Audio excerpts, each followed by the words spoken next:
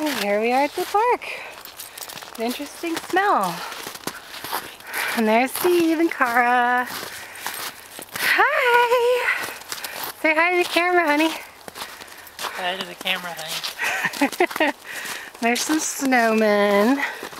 It's my neighborhood. It's actually melting, which is great.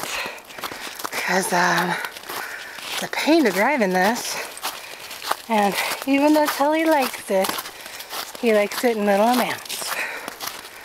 Okay.